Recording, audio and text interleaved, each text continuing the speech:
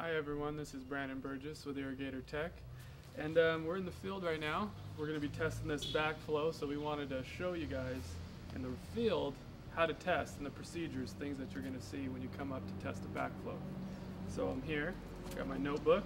I'm going to need to record the values. I like to record it on just a blank piece of paper, go back. There's a form that comes with this, and I'll use the data that I have to fill the form. I, whenever I bring paper out in the field, it always gets wet. So for me, this helps out. So I got my gauge. We got our backflow here. We got the cage, so I'm gonna go ahead and get started.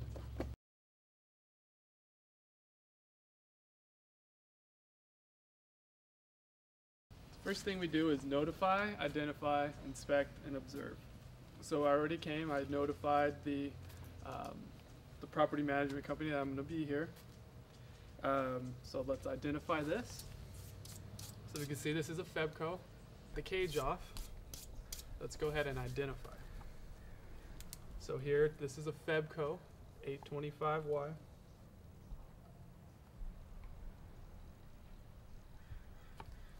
Serial number. Sometimes it gets a little corroded. You want to gotta get rubbing. So J0026 nine two. Okay, and then record the size. So this is an inch and a half. Write that down. And then we need to make sure we know what this device is. So this is a RP, reduced pressure principle. So write that down, RP. Okay, so then we, I, we notified, we I just identified, so we inspect. We want to make sure that no one has changed anything with the backflow. No one's connected anything different to any of these test cocks. I'm gonna go ahead and remove the caps. So we look pretty good.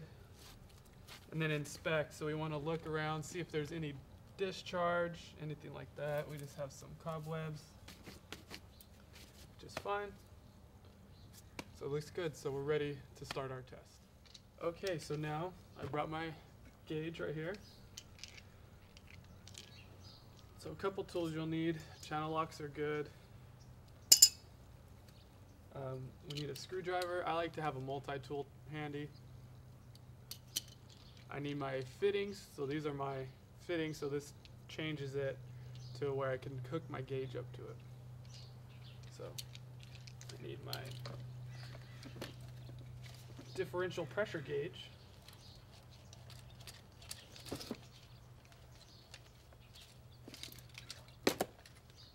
Right here. So this is what I'm going to use to test the backflow.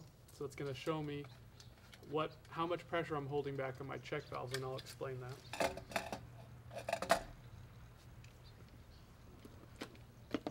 And then I need my hoses. I need my red high side hose,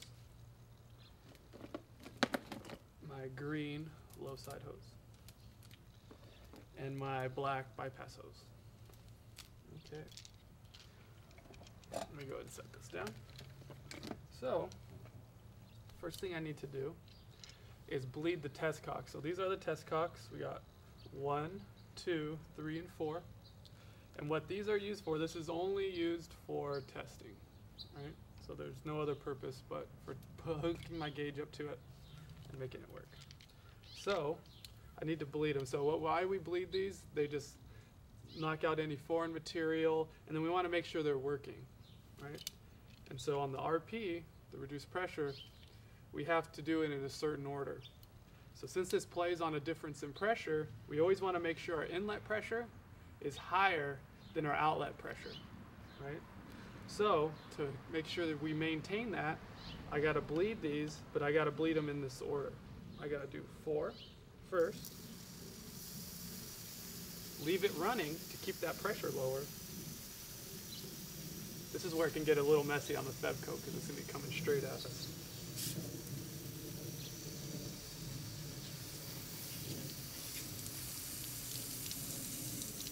So I got three on.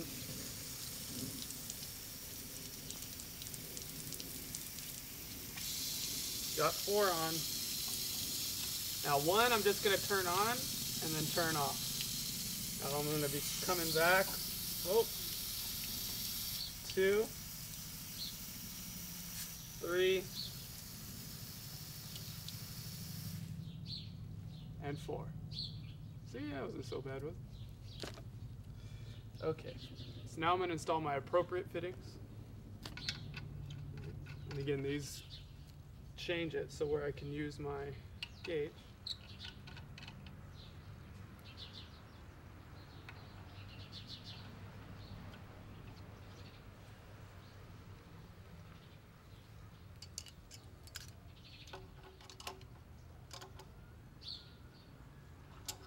And so you can see I only connected it to the number four, the number three, and the number two. So the number one we don't connect to unless we have issues. So if we run into that, we'll be hooking up here. Okay, so it's, now it's time to test. I take my differential pressure gauge.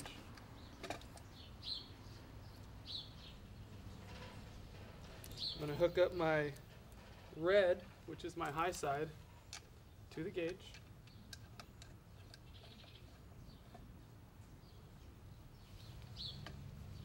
Then to the number two test cock.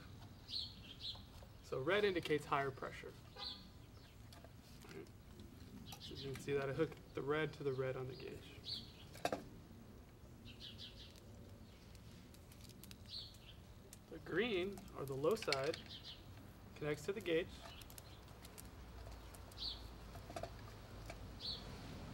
We hook this up to the number three test cock.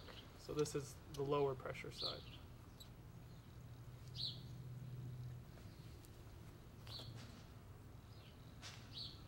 Make sure everything's tight. With my screwdriver, I'm going to go ahead and open the number three test cock.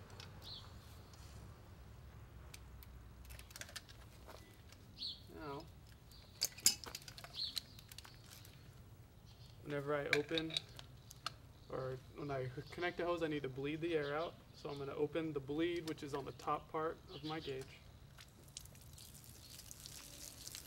So you can see a nice steady stream.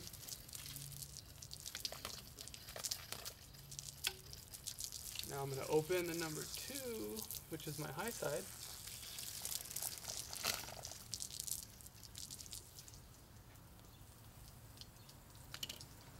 Turning it on the top part of my gauge. So these are both open. As you can see, the water's flowing out. So I'm just trying to purge all the air out. See, there's another little kick of air. You want to let this go until you're confident that there's a nice steady stream, no air. So we're looking pretty good right now. So, while this both are open and where water's coming out, we want to close the number two shutoff valve. And why we want to do that is we want to stop and make sure that we can test without any demand going down and messing up our values. So with that being done, you turn the red first and turn the green off. Right, so we have it all closed.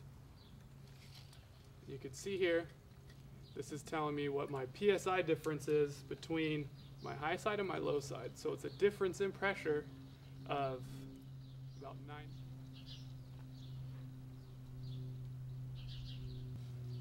So that's a good value. We're looking for 5 psi or greater. So I'm going to go to my notes. They got wet already. So I go to my notes. And so this is my apparent pressure uh, drop across my number one check valve. So just make a note of that. APP 9 psi. Okay. So now I'm ready to test. So my first test that I perform is my relief valve opening point. So this is my relief valve. And so this plays off pressure as well. So the relief valve needs to open up when my pressure from my inlet and my um, outlet come within 2 psi. So to, sim to increase the pressure through my low side hose, I'm going to open my control valve on the bottom here one full turn. By doing that, I'm pressurizing the bar, right? So I'm taking that high side pressure and I'm going to just do a quarter turn here on my low side. Putting my hand down, seeing when I feel water coming out.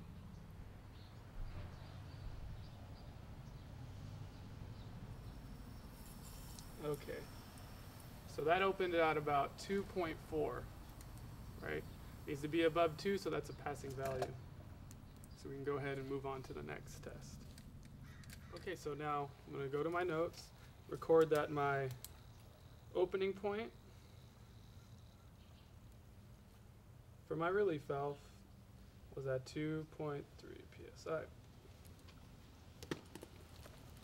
So my next test is going to be my number two check valve.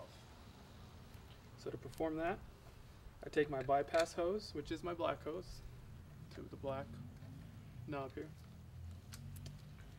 Now you notice on the top I don't have a bleed, so I can't actually bleed. So what I'm going to do is I'm going to open this here, just so some water comes out.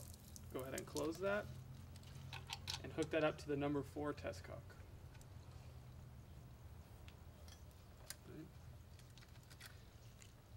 That closed, we're, I'm going to go ahead and open the number four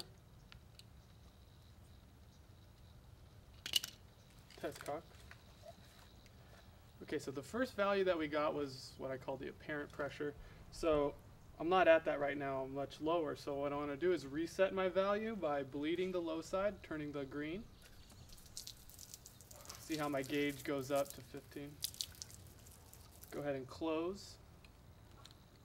Sets me back at the 9 psi. Now what I'm going to do is open this bypass. So by doing that, I'm taking my high side pressure.